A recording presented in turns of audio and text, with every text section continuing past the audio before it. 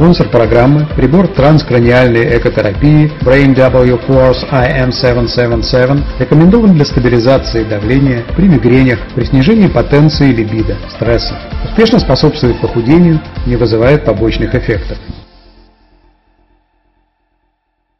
Здравствуйте, это программа «Тема дня» на канале Тон ТВ. В студии Михаил Юровский и наш эксперт, адвокат Ариэль Бульштейн, общественный политический деятель. Здравствуй, Ариэль.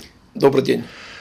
Э, я хотел бы поинтересоваться у вас вашим мнением и вашим экспертным комментарием о, об отчете, который опубликовала общественная организация движения Имтирцу, если захотите, так переводится, о финансировании Евро, Европейским Союзом, Евро, правительством европейских государств и Организацией Объединенных Наций, организаций, израильских организаций, которые финансируют, финансируют защиту террористов, в том числе в израильских судах. Э, за период с 2012 по 2016 год только одной из этих организаций, которая называется Центр защиты личности, такое претенциозное название, было переведено порядка 15 миллионов шекелей. Это с 2012 по 2016 год. В этой связи вопрос, э, насколько государство Израиль э, может себе позволить содержать вот таких вот, можно сказать, Э, помощников террористов или, по крайней мере, защитников террористов. А официально они защищают террористов под разными красивыми лозунгами. Э, насколько долго это может продолжаться? Почему, э, почему до сих пор законным путем не прекращена деятельность таких вот организаций? Израилю и западному миру в целом тяжело справиться с этой угрозой. Она фактически угроза нового времени. Потому что мы привыкли к тому, что организации, которые именуют себя правозащитными, действительно защищают права униженных и оскорбленных, слабых слоев населения, инвалидов, людей, которых по тем или иным причинам кто-то дискриминирует. И мы привыкли всегда относиться к такого рода организациям с уважением. Во-первых, наш закон не просто регламентирует, а э, э поощряет их деятельность. И никогда до сих пор государство не обращало свой критический взор на эту сферу, потому что предполагало, что в таких организациях защищают только правильные, хорошие идеалы и ценности. И вот что выясняется сейчас? Выясняется, что существует определенная сфера организаций, которых правильно было бы назвать не правозащитными, а левозащитными, потому что они представляют крайне экстремистский левый фланг израильской политики. Это не традиционные левые партии, это по-настоящему края, то есть те, которые отрицают во многом иногда право Израиля на существование. И вот они-то как раз используют все возможности, которые наше общество предоставляет для правозащитной деятельности, используют при этом иногда и наивность наших э, европейских друзей, которые уверены зачастую, что они выделяют деньги на какую-то правильную деятельность по продвижению демократии, по продвижению свободы слова, других прав человека, а вместо этого деньги идут действительно без всяких обиняков на защиту террористов. За последние годы организация, которую вы упомянули, которая называется в переводе на русский Центр по защите личности, подала 50 исков, представляя при этом 48 террористов. Террористов, которые, каждый из которых был убийцей. И в данном случае э, они представляли интересы семей этих террористов, э, их родителей, их э, других родственников, требуя от израильских судов идти на различного рода поблажки, в первую очередь по вопросу разрешения, разрушения дома самого террориста. В данном случае цель этих организаций очень простая.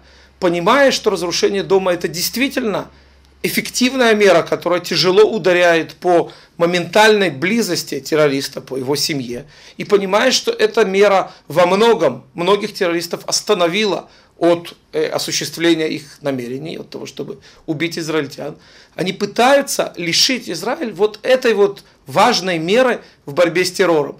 При этом используется как израильская система правосудия, которая, естественно, открыта всегда для всех. Используется израильское право, которое в подавляющих аспектах весьма и весьма гуманно, потому что первое, э, всегда первая инициатива судьи, который принимает на рассмотрение иск Э, требующий не разрушать дом, это в первую очередь согласиться с этим иском и только потом разбираться. И таким образом вот эти вот все, я не скажу, что это слабые точки израильского общества, потому что мы не стыдимся своей гуманностью, но использование вот этих элементов израильской жизни, израильского общества происходит в самых циничных формах, и цель помешать нашей борьбе с террором.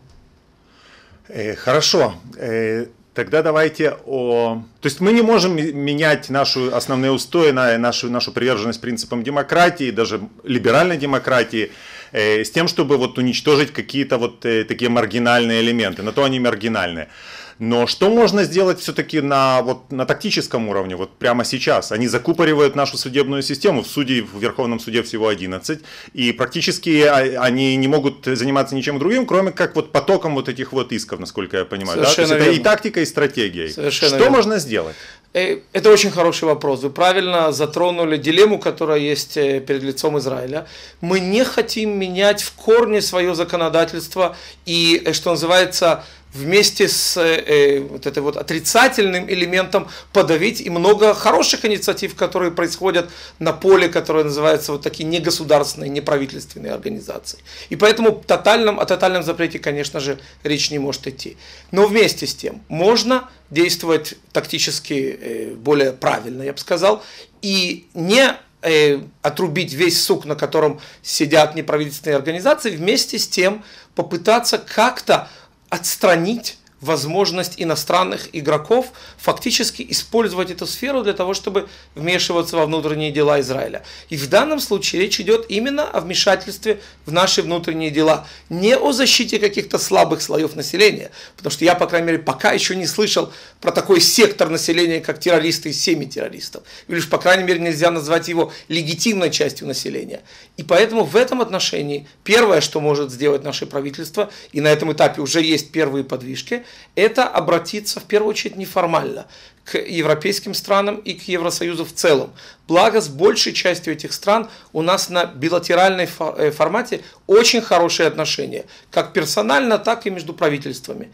И попросить их, показав им абсурдность этой ситуации. Ведь не может быть, например, что израильский премьер-министр, направляясь, скажем, в Бельгию, не просто встретиться там с руководителями сепаратистских организаций, которые мечтают расколоть Бельгию на две части, э, на часть фламандскую и валонскую, но и, например, вытащит из кармана чек и скажет, давайте я поддержу вас и материально. Или представим себе ситуацию, что любой другой премьер-министр, не обязательно израильский, отправляется в Мадрид, и после встречи с премьер-министром Испании направляется для встречи с руководителями сепаратистских баских организаций. Это был бы провокация и вызов.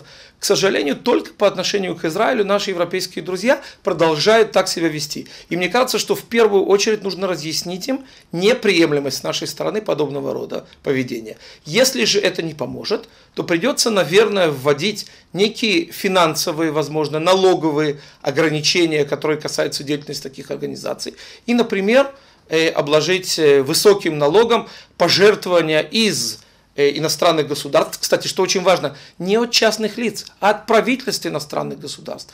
Если я получаю деньги от иностранного правительства, то надо полагать, моя деятельность соответствует интересу этого иностранного правительства. Если это деятельность по охране окружающей среды, по защите инвалидов или еще какая-нибудь благая деятельность, прекрасно. Но если это политическая деятельность, а все эти организации – говорят о себе, что они политические. Почему? Потому что их цель – это повлиять на политику государства Израиля. Они не всегда говорят, они иногда говорят, что мы не, мы не придерживаемся какой-то линии политической, но по сути их деятельность действительно… Они, возможно, не сознаются в том, что они поддерживают ту или иную Формально партию. нет. Это да. Но в тот момент, когда они говорят, что наша цель – это повлиять на политику израильского правительства, в этот момент они превращаются в организацию политическую по своему характеру. И поэтому такая деятельность, которая осуществляется с поддержкой финансового Евросоюза или стран, которые входят в Евросоюз, абсолютно недопустима. Э, спасибо. И еще один вопрос в этой же связи. Э, помимо европейских правительств, э, государств, правительств, среди спонсоров вот этой конкретной организации, не только ее одной, есть и Организация Объединенных Наций. Э, скорее всего, у Организации Объединенных Наций скоро возникнут проблемы с финансированием из-за несколько изменившейся политики главного спонсора, главного мецената, можно сказать, ООН э, Соединенных Штатов, Америки. Э, может ли Израиль проработать этот вопрос, пролоббировать и увязать как-то помощь ООН с финансированием вот, этой организации, уважаемой организации, вот этих вот организаций? Насколько у нас есть сила? Я думаю, что не только может, но и обязан. И сейчас сложилась уникальная ситуация, связанная действительно с избранием нового американского президента, принципиально нового, то есть не просто вновь вошедшего в должность, а весьма отличающегося по своим взглядам, по своим подходам от его предшественника. И в этой ситуации, когда э, в Белом доме сидит, заседает, наконец, американский президент, который понимает, что происходит в Организации Объединенных Наций, понимает, что за ширмой, за весьма уважаемой ширмой такой влиятельной организации на самом деле стоят простые политические интересы, стоят такие интересы в первую очередь, как тотальное маниакальное желание бороться с Израилем, э, которое очевидно под, э, подстегивается тем, что э, значительная часть стран, входящих в ООН, порядка 60, это страны мусульманские, и они заточены на то, чтобы бороться с Израилем любыми доступными средствами, в том числе и посредством ООН. Но Трамп, понимая это и не желая, конечно же, тратить свои собственные американские финансы, деньги своих налогоплательщиков на то, чтобы э, тратить их на то, чтобы бороться с Израилем, я думаю, что он может навязать этой организации новые правила игры. И вот одна из задач нашего премьер-министра, э, отправляющегося на встречу с Трампом э, в Соединенные Штаты, это, безусловно, попытаться выработать с ним общие принципы, согласно которым вот все предыдущие привычные нам образы поведения этой организации больше в будущем повторяться не будут. Я не пребываю в иллюзиях и не думаю, что завтра э, он э, начнет принимать резолюции, которые расскажут нам правду, что Израиль действительно это светоч демократии, единственная прогрессивная сила на Ближнем Востоке. Очевидно, вот до таких э, мессианских вершин мы не дойдем. Но если, по крайней мере, эта организация начнет тратить свои уменьшающиеся средства на такие цели, как борьба с бедностью, такие цели, как борьба с неграмотностью, которая застегивает, э, которая захлестывает исламский мир, да не только исламский. Вместо того, чтобы тратить их на то, чтобы бороться с нашей страной, наверное, и действительно настоящим несчастным людям в этом мире будет чуть-чуть полегче – и те, кто дают деньги на эту организацию, это в первую очередь развитые страны Запада, перестанут ощущать, что на их собственные средства взращиваются на самом деле враги западной цивилизации. Деньги нуждающимся, а не террористам. Спасибо, Ариэль Бульштейн, адвокат, общественный деятель. Это ваш дебют на, нашей, на нашем канале после успешных выступлений на Первом канале российского телевидения. Будем рады видеть вас еще. Спасибо. Это была программа «Тема дня» на канале Тон ТВ. В студии был Михаил Юровский. Всего хорошего.